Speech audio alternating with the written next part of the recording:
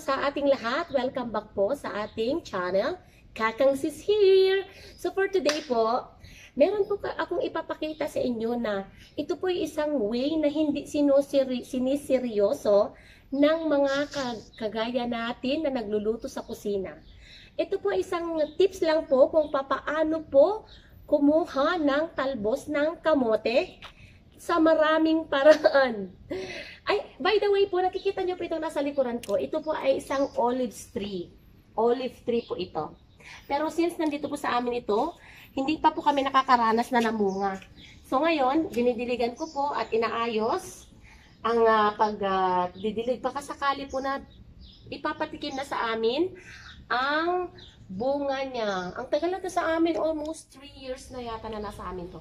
So, balik po tayo sa usapang kamote tops or sweet potato tops.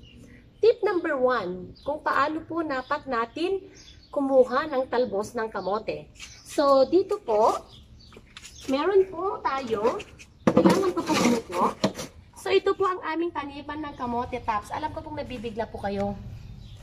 Ito po isang paso lamang po, pero kaya niyang magbigay ng isang pang-ulam namin. So, ano po yung mga tips? First po, kailangang mag-isip ka ng tools. Kung ano po dapat ang gagamitin sa pagkuha ng kamote tops. So una, gagamit po tayo ng ruler.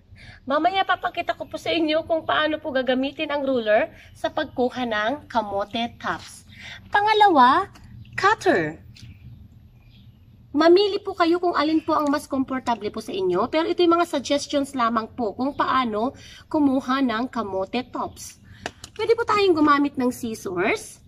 Mhm. Pero by the way, feeling ko naman po itong scissors ang pinaka-komportable po sa akin sa pagkuha ng ating kamote tops. Pangalawa po ay ang very common knife.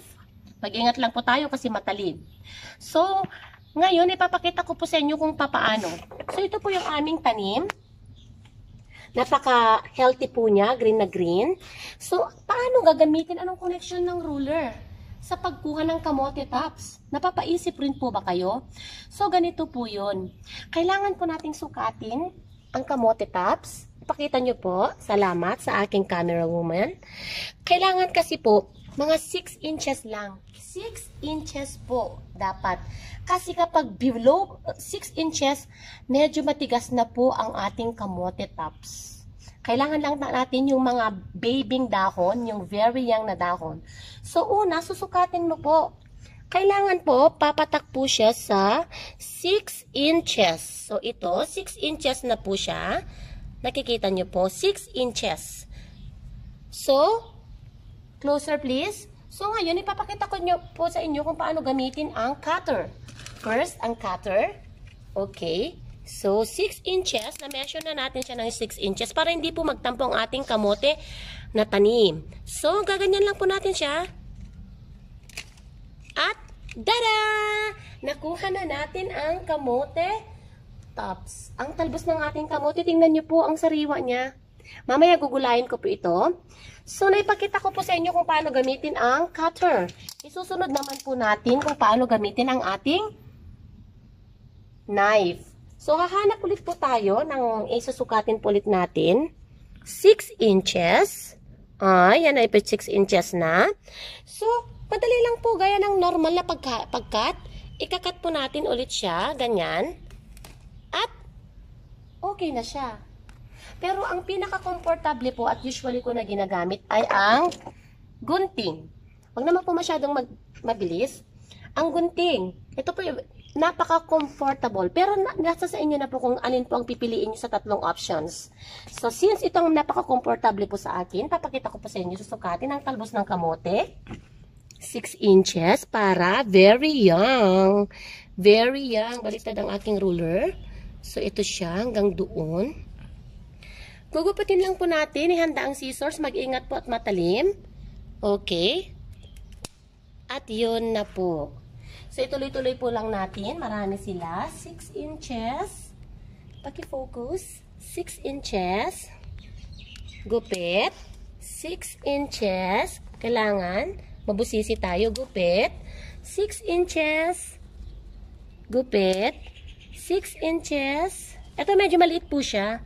Pero dahil po sa sayang naman kung hindi na natin kukunin, mas mababa, mas maiksi, mas ma-healthy.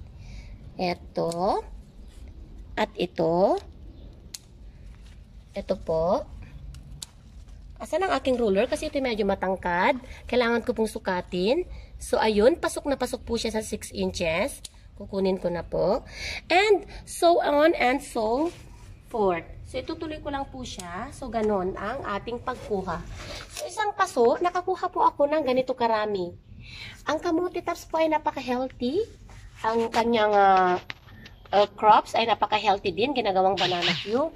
So, ayan, nagtatapos. Dito po nagtatapos ang ating tips kung paano kunin ang talbos ng kamote. Thank you so much po sa mga nanood at sana nakapulot kayo ng aral. Ito, ang inyong kakang, ang babaeng mahilig mangialam sa kusina pero hindi sa buhay ng iba. Bye! Thank you for watching!